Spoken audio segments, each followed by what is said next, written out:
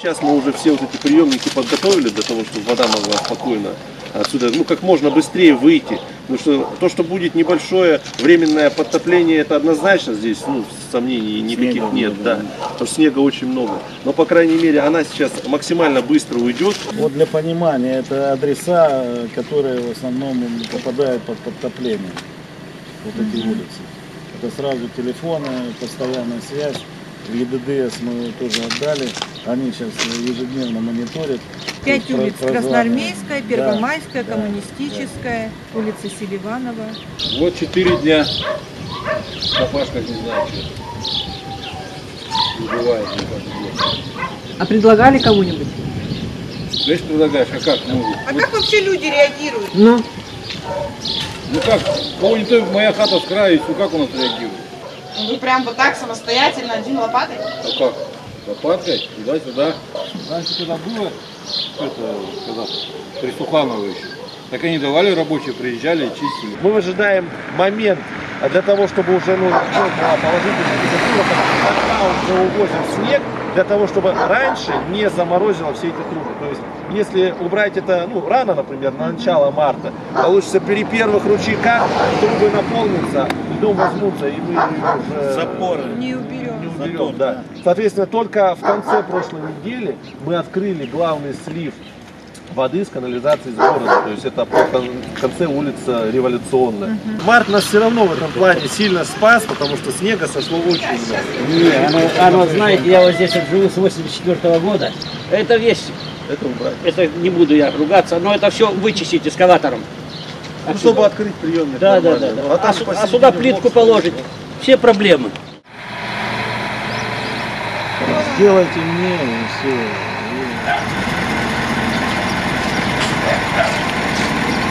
Чего не в июне? Не, ну давайте мы сейчас заберемся, вообще уедем. Да езжайте, а зачем вы нужны? Заброшенный дом очищать? Заброшенный дом очищать? С этого заброшенного дома потечет вам все. Слава богу, сперва вы отвал заговняли, завезли туда снегом. Потом мы названивали, звонили. Уберите нам, пожалуйста, снег, мы находимся в зоне подтопления. Только что-то вы приехали, когда мы наняли технику, уплатили деньги. Кто нанял технику? платить? Лично я в выходные вывозила, лично бабуля. Вам пойти позвать пенсионеров по 73 года, которые оплачивали. Вот, э- вот эта техника. Нет, это... А что вы сейчас расчищаете? Скажите мне на милость. Вы нам обещали, с 1 марта выйдет техника.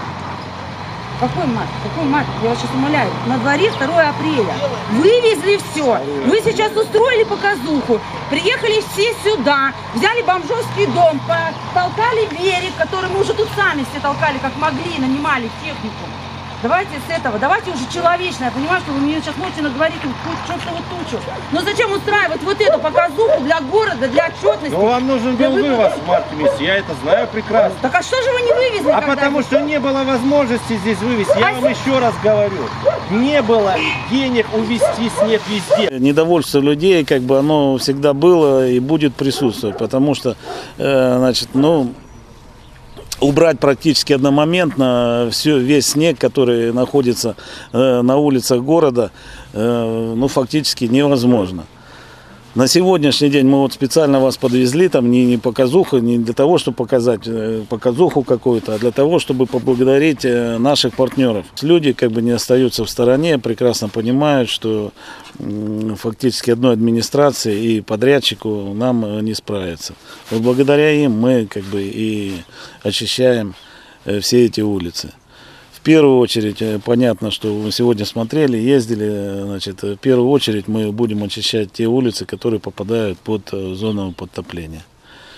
И очистить, вот как женщина говорила, очистить в феврале, в марте, ну, практически даже если мы бы очистку провели, то ее нужно было проводить полностью с вывозкой, ну, минимум раза 3-4.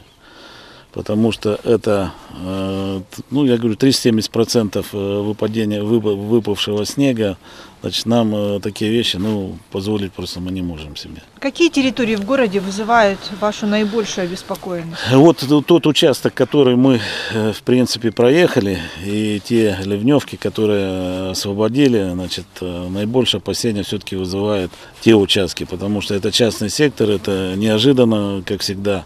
Значит, э, есть же поговорка, значит, э, зи- зима приходит неожиданно, и у нас, к сожалению, можно сказать, что и подтопление тоже всегда приходит неожиданно, и в ночное время. И я очень боюсь, что вот э, резкое потепление значит, даст нам вот такой результат. И ночью будем значит, смотреть. И проблемы эти как бы есть, э, из года в год они существуют, но я думаю, и в этом году мы тоже без этого не обойдемся. А много вообще жителей обращаются к вам по поводу паводка сегодня? Мы специально взяли, я показывал, специально взяли значит, э, те дома, которые регулярно попадают в зону подтопления. Э, Взяли телефоны, встречались э, с э, их жителями, взяли телефоны, выдали им памятки, ну, практически всем, и постоянно производим мониторинг значит, состояния, состояния подтопления. То есть э, у ЕДДС э, есть задание, они регулярно прозванивают, значит, спрашивают, в каком состоянии, как, как это дело все происходит. А кому-то из представителей власти люди могут напрямую позвонить в случае экстренной ситуации? Ну, практически наши телефоны э, все тоже э, известны. Ну и в первую очередь, понятно, нужно звонить ИДДС. Э, Там есть определенный план, определенный порядок, порядок действия. Телефоны всех практически служб. И по откачке график делали мы привлечение техники на период на этот, по откачиванию, там, по подсыпке и так далее и тому подобное. То есть все эти телефоны, они имеются. Скажите, а поселок Горняк, В первую очередь ИДДС. Мгм. а поселок Горняк, Южный, там какие-то проблемы могут возникнуть? Ну, проблемы могут э, всегда и везде возникнуть, но я думаю, что, э, в принципе, особого подтопления так и из э, опыта работы как бы там не возникало, но, тем не менее, все равно, в любом случае мы держим под контролем, ну, практически весь город.